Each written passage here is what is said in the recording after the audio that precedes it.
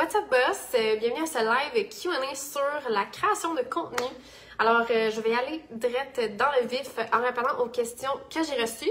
Si en chemin tu as des questions, pose-les dans les commentaires. Euh, c'est le temps d'avoir une conversation sur tout ce qui te bloque dans ta création de contenu, toutes les questions que tu te poses. C'est le temps de trouver des réponses pour te débloquer puis t'aider à avancer.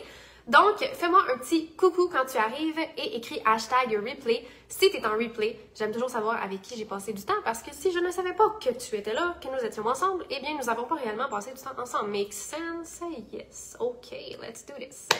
So, question croustillante aujourd'hui pour nous. Salut Mylène, salut Hugo, contente de vous voir là, la gagne. Donc, c'est ça. Première question pour tout de suite embarquer dans le croustillant si j'ai pas envie d'en créer moi du contenu parce que je suis pas un pro des réseaux sociaux puis j'ai pas envie de le devenir, je peux faire autrement pour vendre en ligne? Very good question. Et le truc que je vais répondre à ça, c'est que la meilleure façon de vendre en ligne, c'est d'avoir une présence en ligne, d'être là, de show up en tant que l'humain derrière la business et de ne pas justement faire l'erreur d'être une corporation comme tout le monde fait, de juste montrer des produits, de juste montrer des photos de produits, de juste parler des produits, de juste tout le temps, dans le fond, remettre la relation vendeur-acheteur de l'avant. Parce que réellement, il n'y a personne qui s'en va chiller sur la page du Canadian Tire ou du je sais pas quelle compagnie en France. On va pas chiller sur des pages où est-ce qu'ils sont là pour nous vendre des choses, à moins que je veux aller acheter. Mais tant qu'à ça, je vais aller sur son site web puis je vais aller magasiner des trucs. Mais donc, on ne chill pas sur les réseaux sociaux ou euh, juste sur Internet quand on s'amuse sur Internet, on se divertit. On ne chill pas sur des pages où est-ce qu'on se fait vendre des trucs. On aime acheter, sure, quand on a besoin puis que c'est ça qu'on veut, mais on n'aime pas ça se faire vendre. Fait que, grosse erreur monumentale de faire du contenu sur des produits. Si tu veux pas créer du contenu, si t'es pas un pro des réseaux sociaux, tu veux pas l'apprendre puis tu veux vendre en ligne, euh, écoute, tu peux faire des tunnels de vente, tu peux avoir un site web puis te dire que tu vas attendre que les ventes rentrent là-dedans mais c'est vraiment difficile parce qu'il manque tout le côté humain, le côté connexion humaine, qui est la raison pourquoi les gens sont sur Internet. Euh, même si tu vas sur des forums, si tu euh, écoutes des reels, qu'est-ce qui va capter ton attention? Les autres humains, les autres situations comme les tiennes dans lesquelles tu te reconnais, euh, pas les produits, pas le site web, pas la corporation. pas le tunnel de vente automatisé que tu sens que c'est un robot qui te parle. Fait que, meilleure façon d'être en ligne et de générer des ventes pour ton entreprise, être présent, te bâtir un personal brand, être là, être connecté avec les autres humains, prendre le temps d'être là et l'apprendre. Fait que, ben, anyway, si tu veux pas l'apprendre, why are you here? Quit this group right now. OK. Maintenant que ça c'est dit, très bonne question de Mathieu. J'ai aucune présence en ligne, je suis en Gaspésie. Ma clientèle est plus que 50 ans. Je veux rebrander mon produit pour attirer une nouvelle clientèle, mais mes clients sont saisonniers. Par où commencer? Et tellement de beaux éléments dans cette situation-là. OK. Être en Gaspésie, avoir une clientèle de plus de 50 ans. Beaucoup de gens penseraient que ça ne sert à rien d'être sur les réseaux sociaux pour une clientèle de plus de 50 ans. Mais il y a un énorme avantage à l'être parce que tout le monde se dit ça. Donc, juste par le fait que tu serais sur les réseaux sociaux, tu as un avantage sur tous les autres. Ensuite, le meilleur endroit pour euh, attirer, parler avec une clientèle de plus de 50 ans, c'est Facebook. Pourquoi? Parce que c'est le réseau social le plus vieux. Donc, euh, il y a la clientèle la plus âgée aussi. OK? Euh, c'est pas sur TikTok que tu vas trouver le monde le plus vieux. Oui, il y a des, y a des, y a des personnes âgées plus hype, mais, mais les chances de ton côté, Facebook is the place to be.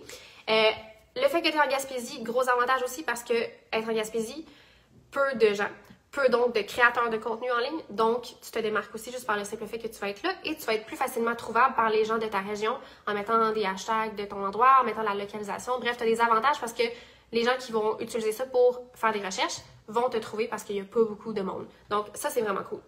Euh, maintenant, je veux donner mon produit pour attirer une nouvelle clientèle, mais mes clients sont saisonniers. Par où commencer? Un truc à savoir, c'est que quand ta business est saisonnière, ce qui est cool, c'est que ton marketing n'est pas saisonnier, lui. C'est vraiment important de continuer de faire du marketing, puis d'avoir une présence en ligne, puis de créer du contenu, puis de show pour ta business, pour que quand c'est le temps, les gens, ils sont tellement sensibilisés à toi, ils ont tellement consommé ton message, ils t'ont tellement côtoyé toi, que c'est à toi qu'ils pensent quand ils ont un besoin que toi tu remplis. Ils vont pas penser à l'autre qui disparaît quand c'est pas sa saison, il va penser à toi parce que toi, tu es tout le temps là, tu es tout le temps là pour eux, tu es tout le temps présent, tu passes ton message, eux autres, ben, ils l'absorbent. Donc, ils vont être prêts à acheter de toi quand ça va être le temps. Fait que important de continuer le marketing, peu importe, même si ta business est saisonnière. Euh, rebrander ton produit pour attirer une nouvelle clientèle, ben là, c'est sûr que ça dépend euh, c'est quoi ton produit. J'ai pas beaucoup de détails pour attirer une nouvelle clientèle et tout ça. Mais déjà, juste changer la façon que tu vas t'adresser à ta clientèle. Puis si, si je guesse que tu veux, mettons, aller chercher une clientèle plus jeune, ben juste d'être sur les réseaux sociaux aussi, tu as une bonne chance d'aller attirer du monde plus jeune. Euh, puis changer comment tu t'adresses à ta clientèle, justement. Mais là, j'ai pas assez de détails pour pouvoir te guider là-dedans. Fait que, mais déjà, je pense qu'on a adressé beaucoup de choses dans ton message, ta question. Fait que voilà, si t'en as d'autres, ben, écris un commentaire ou bien viens, viens en DM. Donc euh, voilà. Et maintenant, dernière question aujourd'hui. Je pars de zéro. Je n'ai pas de communauté. Comment et où je devrais commencer? Je veux créer quelque chose dans le développement personnel. Comment je peux attirer le bon public, des personnes que je peux vraiment aider? OK. Première chose, c'est que il y a deux façons de bâtir ta présence en ligne. Tu peux te dire, je bâtis une présence en ligne, puis après ça, je vais aller peaufiner mon message, puis de quoi je parle sur mon contenu pour aligner ça avec mon offre que je vais bâtir dans le futur. Et là, c'est ce qui arrive, ce qui risque d'arriver, c'est que tu vas attirer plein de monde qui sont qui seront pas nécessairement qualifiés pour ce que tu fais, même si tu parles du domaine en général. Euh, fait que tu risques d'attirer du monde qui sont là pour se faire divertir, mais qui vont jamais acheter. Moi, ce que je conseille, c'est vraiment clarifier qui tu veux aider, puis avec quoi. Fait que là, on, quitte un peu la, création de contenu, puis on rentre un petit peu plus dans bâtir des offres, OK? Mais c'est important que tu bâtisses une offre où est-ce qu'il y a un besoin sur le marché, que des gens vont en avoir de besoin et que toi, tu vas remplir leurs besoins. Donc, tu vas être la solution à un problème ou à un désir, un objectif vraiment spécifique, puis donc ton contenu va pouvoir tourner autour de ça. Parce que c'est ça. Sinon, tu, vas, tu parler n'importe quoi, puis tu vas attirer du monde qui sont pas qualifiés, puis ça va te faire vraiment perdre du temps, puis tu vas être content en fait d'avoir parti du bon pied dès le départ. Parce qu'après ça, c'est chiant de commencer à essayer de trier le monde qui sont là, puis euh, bref, euh, ça nuit à ton taux d'engagement. C'est juste vraiment pas bon. On en a parlé un peu la dernière fois. Fait que tu veux vraiment attirer dès le, départ les bonnes personnes à toi, mais pour attirer les bonnes personnes, il faut que tu saches c'est qui tu vas attirer. Puis donc, pour savoir c'est qui tu vas attirer, il faut que tu saches c'est quoi tu fais, à quel problème tu réponds, à quel désir que, que tu solutionnes, OK? Fait que déjà, je te dirais, précise ça. Rends ça clair pour toi. Comme ça, quand tu vas partager ton message, tu vas créer du contenu, ça va être clair pour les autres aussi. Parce que si c'est pas clair pour toi, qui tu aides, comment tu les aides, ça sera pas clair pour les gens qui vont te suivre, puis ils n'auront aucune raison de te suivre dès le départ. OK? Euh, fait que par où tu devrais commencer par faire ça? Et ensuite, là, après ça, tu devrais choisir justement quelle plateforme tu veux utiliser. Donc, est-ce que tu vas être sur Instagram, Facebook, TikTok, YouTube, euh, podcast, n'importe quoi. Fait que choisis la meilleure plateforme pour toi selon tes objectifs. Si ton objectif, c'est de créer des ventes rapides, euh, de créer un mouvement rapidement, moi, je te dis, groupe Facebook is the best. Tu as beaucoup de contrôle là-dessus. Si euh, tu veux plus te créer un nom, tu vas être connu par beaucoup de gens, donc tu veux vraiment être vu par plein de monde, tu vas être vraiment public, tu veux te bâtir un nom, c'est plus long terme comme objectif. Instagram, ça peut être bon, euh, tu sais, YouTube, n'importe lequel. Chaque plateforme a ses avantages, ses inconvénients. Fait que si, par exemple, YouTube, tu as l'option du search, le Search Engine Optimization, donc le SEO, c'est bon pour ça sur YouTube.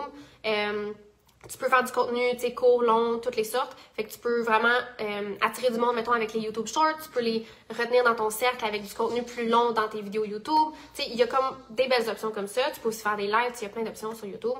Euh, Instagram, c'est plus, euh, ben, t'as les, les stories, t'as euh, bref, tu as une grille, fait que, mettons, comparé à un fil Facebook, tu pas de grille qui regroupe tous tes contenus, que les gens peuvent en deux secondes voir si tu as du texte ou tes photos, tu sais, qu'est-ce que tu fais, c'est quoi le genre de contenu que tu postes. Fait que, tu sais, ça dépend vraiment de ça, c'est quoi ton objectif, puis oui, effectivement, comme l'a dit, ça dépend de ta clientèle cible et où aussi. Fait que, tu sais, comme on disait tantôt, les personnes plus âgées, Facebook, c'est mieux. Des personnes vraiment plus jeunes, des ados, tout ça, peut-être mieux TikTok, Instagram. Fait que, tu sais, faut que tu ailles sonder aussi où est-ce que se trouve ta clientèle cible, puis toi, c'est quoi tes objectifs, puis le meilleur match, ben, ça va être la place qui est la meilleure pour toi à être. Fait que, par exemple, there is work to do. I cannot just, euh, je peux pas juste te donner une, une réponse full claire parce qu'il faut que tu analyses selon tes objectifs, ta clientèle cible, ton offre c'est quoi, pour évaluer c'est quoi qui est le mieux pour toi. Fait que, on peut jamais skipper le travail qu'il faut faire parce qu'il y a du travail à faire. OK, Hugo dit, puis je vais peut-être même me planifier une vacance en Gaspésie, ça fait être moi que je te vois en parler. Donc, tu crées une nouvelle clientèle qui n'aurait jamais show up chez vous sans ton contenu à l'année longue. Oui, parce qu'il y a des gens qui vont te découvrir par ton contenu. Tu vas attirer du monde des fois que tu n'aurais pas attiré si tu n'étais pas là, parce que les gens n'auraient jamais su que la Gaspésie existe. OK. Euh, fait que je commence où une fois que j'ai une solution à un problème. Ben là, si tu veux créer du contenu, justement, ben, c'est clarifier c'est quoi ta mission, donc c'est quoi ton message, d'être vraiment spécifique dans ta, dans ta, dans justement c'est quoi ta mission, puis c'est quoi les mots que tu utilises pour parler à ta clientèle cible, c'est quoi qui... Euh, vraiment les creuser dans c'est quoi les, c'est quoi les peurs, c'est quoi les, difficultés, c'est, quoi les pensées, c'est quoi les émotions de ton client cible par rapport à son problème ou son objectif, c'est quoi qu'il veut vraiment, c'est comment que ça se passe en ce moment, c'est quoi les prises de conscience que ton client cible a besoin d'entendre pour être prêt à acheter de toi? c'est ton contenu, il sert à préparer les gens à acheter. Fait qu'il faut que tu ailles, faut que tu parler de ça. Il faut que tu parles de ton client cible à ton client cible. Tu peux pas oui, il faut que tu parles de toi pour que les gens connectent avec toi, mais essentiellement, il faut que les gens sentent que tu les comprends mieux qu'eux-mêmes. Donc, il faut que tu ailles creuser en dedans d'eux, puis que tu leur en parles à eux, tu sais, pour qu'ils se reconnaissent dans ce que tu dis, puis qu'ils voient que tu les comprends tellement bien que, my God, c'est sûr que si tu, leur, tu les comprends autant dans leur situation, c'est sûr que tu comprends fois mille la solution qui est nécessaire pour eux. OK, j'ai tout fait ça, mettons, now what pour me rendre à un premier client. Là, aujourd'hui, on parle de création de contenu, mais donc ton contenu sert à préparer les gens à acheter de toi. Ensuite, il y a toute le, la construction d'un système d'acquisition de clients autour de ton contenu. Puis ça, ça pourrait être le sujet du live Q&A de la semaine prochaine. Fait que tout le monde ici qui a de la misère à obtenir des clients ou qui veulent en obtenir plus, qui veulent scale leur business vraiment plus, mais ça pourrait être bon si vous avez des questions de les mettre ici ou mardi. Je vais faire le post Q&A du mardi pour que vous puissiez aussi venir mettre vos questions. Puis jeudi prochain, on pourra parler vraiment de l'acquisition de clients. C'est quoi les façons d'obtenir des clients, euh, comment, tu sais, selon les domaines peut-être. Je sais pas c'est quoi le genre de questions que vous avez par rapport à ça. Fait que let me know, puis je pourrais adresser ça vraiment spécifiquement. Fait que voilà pour le contenu. C'était ça les questions que j'ai eues. Donc je pense que ça fait le tour de ces questions-là. Euh, hésite pas, euh, en fait, même pas hésite pas, mais genre very much euh, participe dans le groupe le mardi sur mon post de Q&A parce que je suis vraiment là pour venir répondre à tes questions. D'ailleurs, si t'en as en ce moment, tu peux me les poser pendant que je suis encore là. Mais je suis vraiment là ici pour t'aider, pour euh, t'aider à scale ta business, pour t'aider à bâtir un empire de feu, pour t'aider à, à, vivre la vie de tes rêves, puis ne plus dépendre d'une job ou ne plus être dans des gros struggles de questionnement de genre pourquoi que ma business ne fait pas de vente? Moi, je veux te sortir de ça, mais je peux pas le faire si toi t'es pas là. Fait que moi, je peux pas show up puis faire plus de travail que toi faut que toi tu show up pour que moi je puisse venir matcher ton niveau d'investissement en toi-même et en ta business pour pouvoir créer des résultats insane. Fait que moi je suis là, je suis tout le temps là, que tu sois là ou pas, mais plus que tu es là, plus qu'on peut faire des différences dans la situation de ta business en ce moment. Fait que sur ce, merci à tout le monde qui a été là et on se revoit jeudi prochain pour un prochain Q&A sur la question de client. Ciao!